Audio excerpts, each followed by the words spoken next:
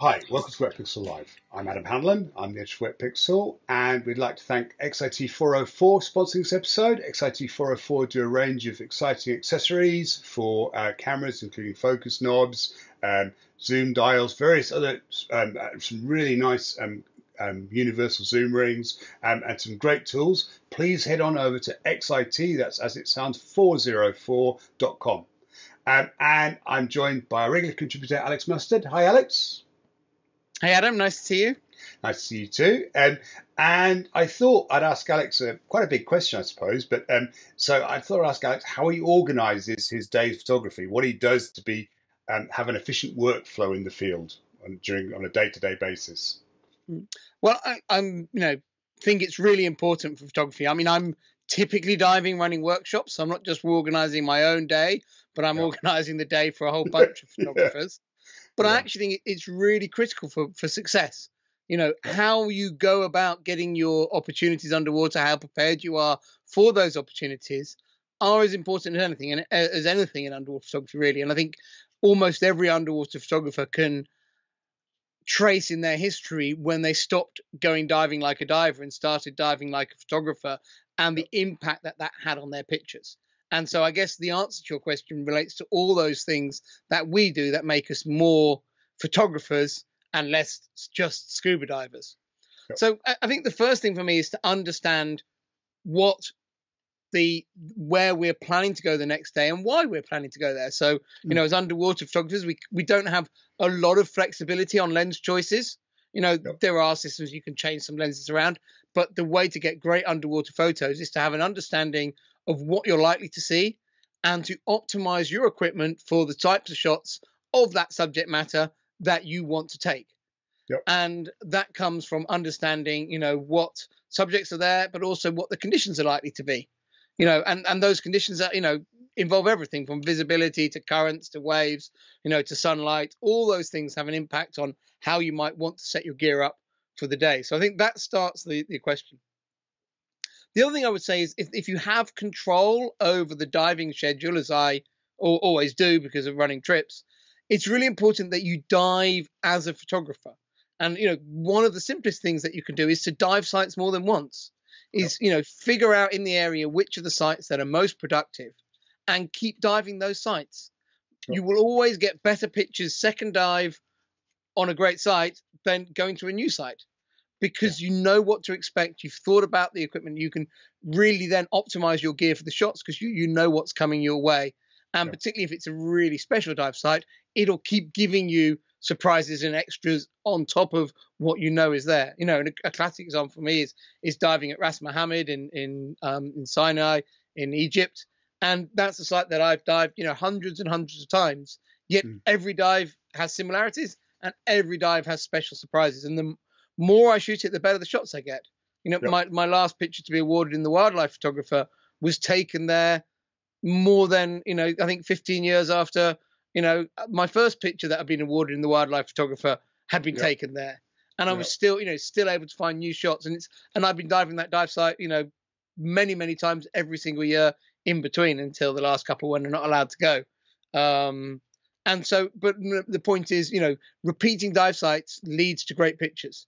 Yep. You don't get, you know, you know, you typically get those great pictures when you are ready for it, and that's because we want to optimize our gear for the shot, not have some camera system that can shoot a little bit of this and a little bit of that. And it yep. does slightly worry me now that the housing manufacturers, the camera manufacturers, they're pandering to the market in that new photographers come along and go, "Oh, I want the ability to do this and this and this on a dive." Yeah. And so the, the, the, gear manufacturers are going, oh, well, we can buy, make that for you and sell it to you. Yeah. And now it's being marketed to us as like, you can do this and this and this on a dive.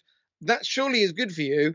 And it's not good for your photographic output. You get, you know, underwater photography, photography in general is not about taking a bazillion okay shots. It's about yeah. producing those special images.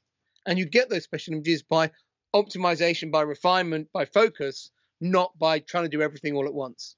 Yeah, yeah. Um, anyway, and, I'm getting I, quite sidetracked of your question. You already. are. Well, it's, it's, not uncommon, is it, for us? Um, but yeah. the, the, I mean, certainly, I think that, that video, for example, is another bit of a red herring. A lot of people, you know, most camera systems now will shoot pretty good video.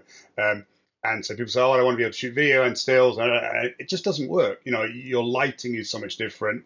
You know, I think yes. the key thing is, is, is it works. You just But don't get well. anything special. yeah, yeah, yeah, okay. And I, I think you- that's you know that's where the arguments come. People go, "Oh yeah, but I got this and this and this on a dive. Of course Yeah. it works." And I'm just like, "Yeah," and I would delete those. You know, why are you showing me? You know, you know, so, so okay, so are measured on our best work, not so we've decided we've decided on our dive site. We've decided Sorry. what type of subject we're gonna we're gonna we're going to um, photograph.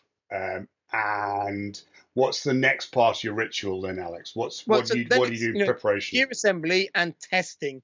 You know, all uh, part of one. You know, the time to figure out something is not working is when you, you get in the water. And I was diving yesterday, um, and I checked my camera, checked my strobes were working, checked everything working.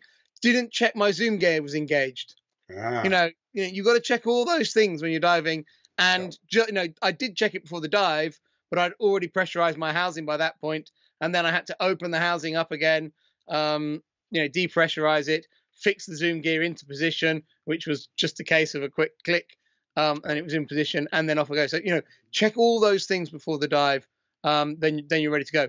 Luckily, I didn't find out underwater. I did find out before the dive, but but still, it's really important to make those checks, and then you're ready to make the most of the dive. and and certainly I think most important thing about those checks is is is you need to actually physically take a picture and look at it on the LCD screen. Mm. I mean, worst case, you've left the lens cap on. Um, everyone's done it, you know. Yeah. But Or battery or no card or yeah, you know, the point is take a picture and basically look at the image on the screen. And and you know, if you if, if, if there is an image on the screen, you need to figure out why. Um, and that's that's something you know a lot of people will run through and press buttons and you know, and but actually physically see to make sure the camera's taking a picture of the surface, and that that's a, a really acid test um, of of everything working. Um, and if you've got a zoom gear or a focus gear on, as I learnt yesterday or re reminded myself yesterday, you know, check that as well when you're at home doing the test before you Yeah. go to the dive site or in the in the room. So yeah, Yeah. test shot, um, and then yeah, then then often often enjoy things, and then yeah, So, so okay, so obviously we, we fall off the boat, disappear down, do whatever we're going to do, come back, come back. We come back to the boat. What's what do you do then? I mean, obviously we've got some time hanging around the surface. That will vary depending on where and what we're doing. What sort of things do you do between dives, Alex? So I think this is where what I do um, is I will happily tell you. It's not necessarily what I recommend. I think this stage is a bit more what works for me. Yep. I generally, certainly on a liveaboard and, and very often on a day boat, I open my housing after every dive. I do this because that's how I grew up doing photography. I you know grew up shooting film and you Yeah. had to open the housing to put new film in. So Yeah. it was no, you know, it's never been an issue. I've never been one of these. Oh, I'm pumping up in the morning and it stays sealed to the rest of the day. That way it can't flood. I open my housing after every dive, and I always have. Um, I do that for two reasons. I do that because I always feel safer with my pictures on my computer, and Mm. once they're on my computer, I can then have a have a look at them.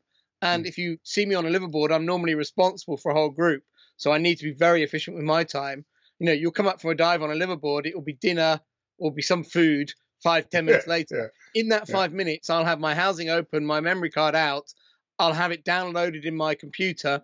Um, if you know, in the days of slow downloads, I'd leave it downloading over over breakfast, come back after breakfast, take the card, put it back in the camera, um, get ready for the next dive.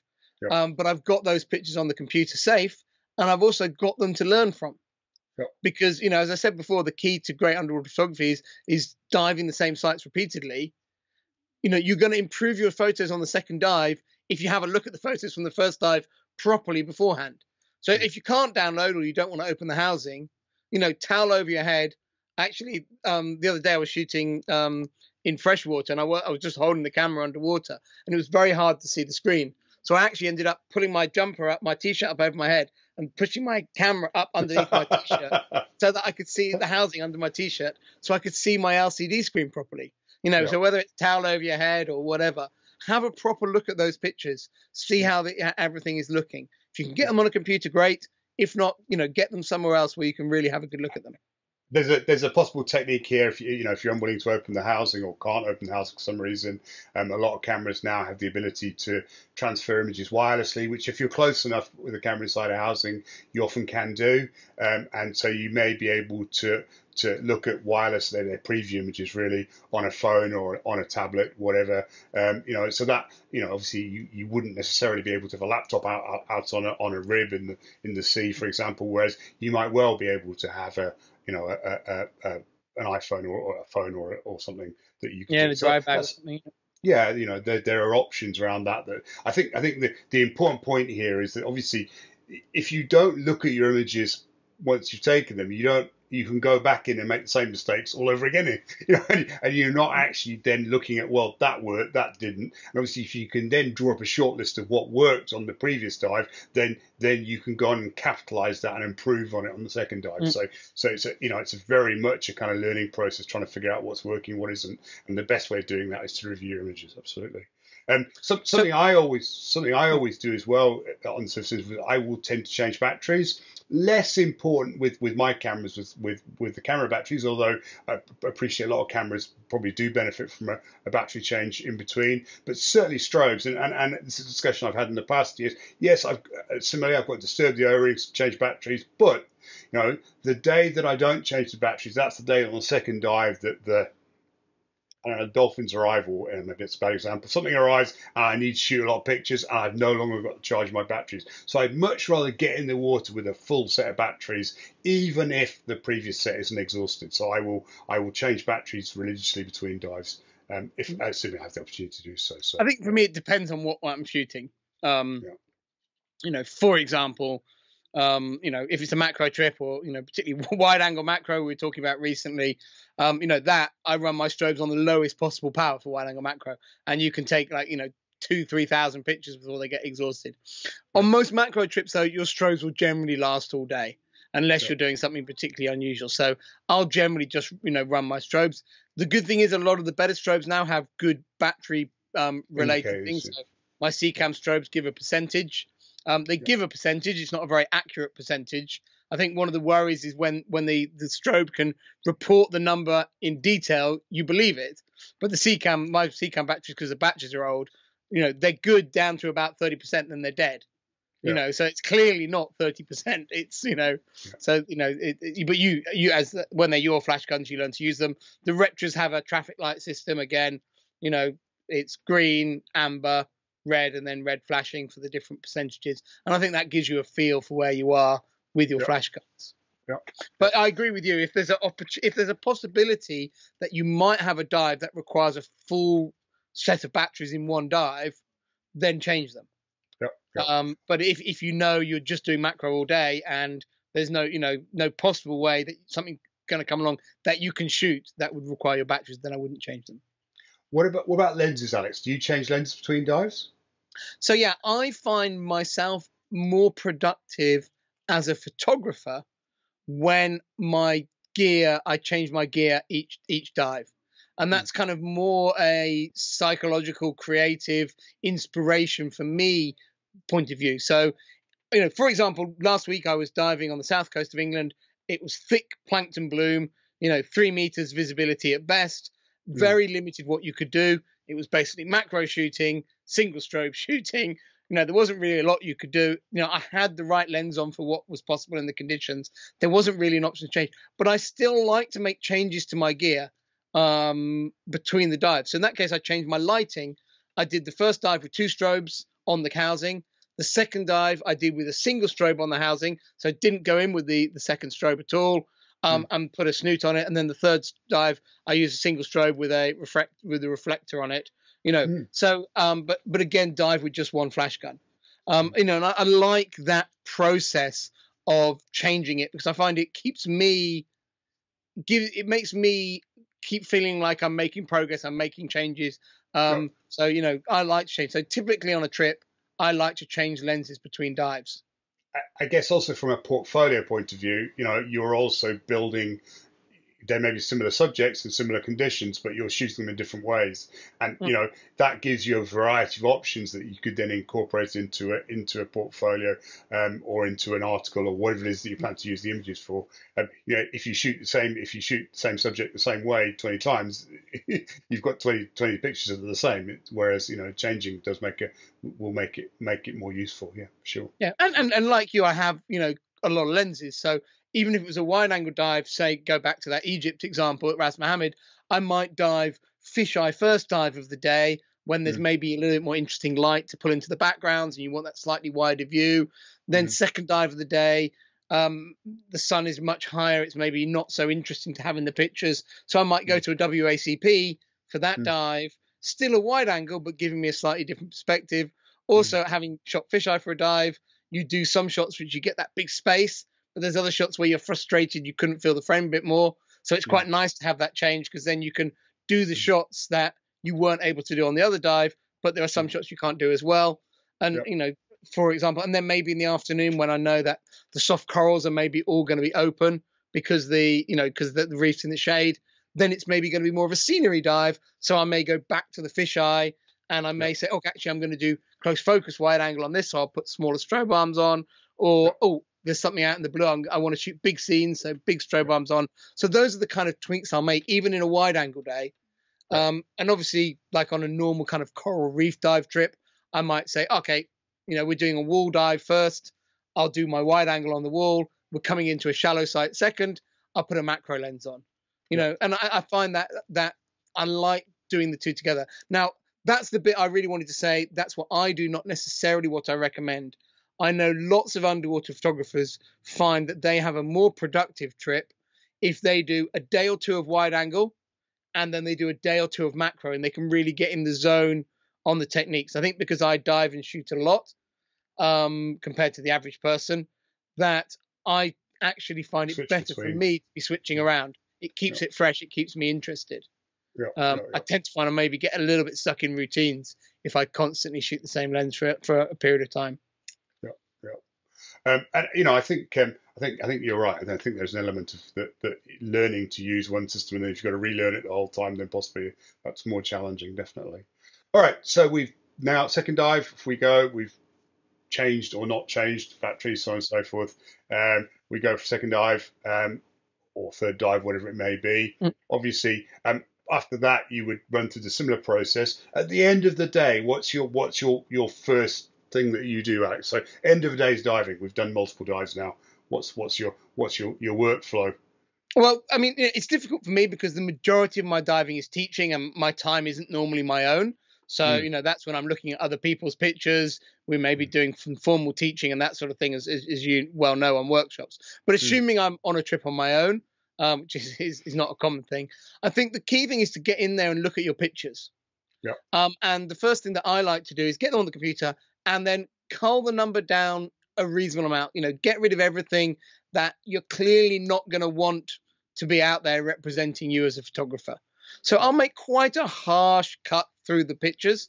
You know, those who've dived with me know that you know I'm technically, you know, experienced underwater photographer. So I don't shoot many pictures that aren't well lit, correctly exposed, in focus, you know, interestingly composed. But every photographer, irrespective of your level, you've Yeah. got pictures that for your work are good and for your work are a bit boring. And. I'll I'll get my my pictures culled down because I think if you're faced with whether you're judging a competition or looking at your own pictures at the end of a day's diving, having 500 pictures on your computer and deciding which is the good one is hard. If you've got 50 on your computer, it's a lot easier. Yeah. Um, and so hacking that number down is is a really important step to do.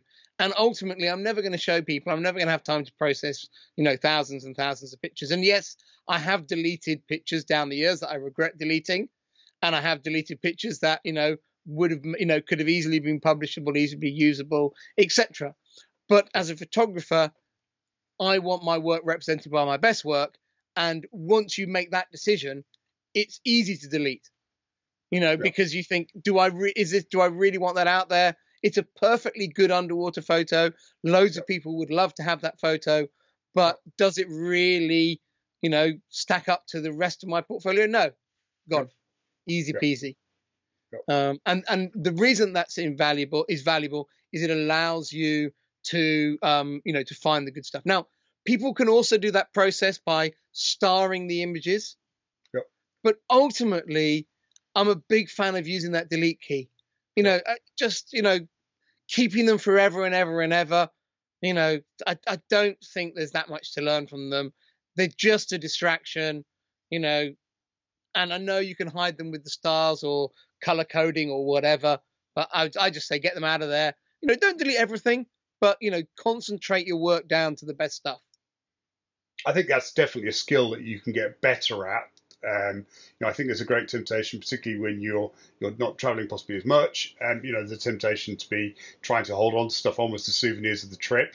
Um, Mm. And you know that that's understandable, but as you say, when you discover that you've got thousands and thousands of pictures that you actually never look at, um, there's there's no point in having them. You know, it's you know you tend to you probably tend to look at the same you know the, the your favorite images um, repeatedly, and, and the vast majority of them you may not. So yeah, it makes sense to delete. Yeah, and, and I'm not saying go mad, but I think you know a decent you know cull of maybe taking somewhere between 20 and 50 percent of the pictures away is a pretty good place to be.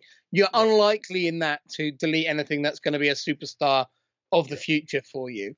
Um, however, I don't cull down to the absolute bones straight away because I think you need both to review a dive or review a shoot immediately afterwards, but Yeah. you also need to come back to it a couple of weeks later when you've done lots of other photography because may when you when you edit a work straight after a dive you tend to keep the stuff that worked the way you wanted it to Yeah. whereas when you come back to it later you then realize okay well i wasn't planning to get this shot but actually i rather like it now Yeah. and i think so you don't want to edit too heavily straight away but you definitely want to get rid of the dross so that when you do revisit the folder you're not just wasting your time with 20 shots that are basically the same.